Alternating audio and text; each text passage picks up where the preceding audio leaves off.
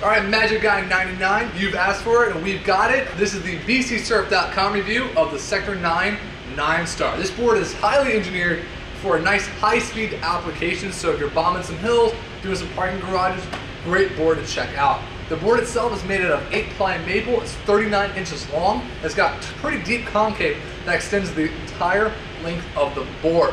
Really helps maintaining control, keeping your feet locked in, and also doesn't feel like you have to turn over too far and you're not gonna lose your balance.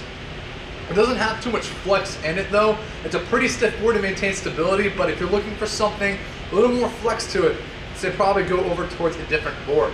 The trucks itself are 10 inch charger trucks so they're maintained nice and stable, keep out a good amount of control, but also have a pretty sharp turning radius itself.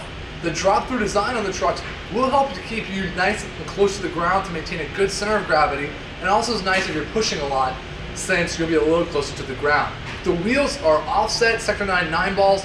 They're 72 millimeters and 75A, so they're pretty sticky. So if you're looking for a lot of grip, it's a great wheel to check out. You can't bust it into a slide, but you've got to have a good amount of momentum going into it.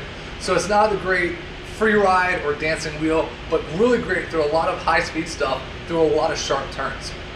Overall, this board is really great you're going on some steep hills, some parking garages, it maintains pretty, pretty stable, and with the big trucks, it's definitely, definitely a champion in that area. So I recommend it, and check it out.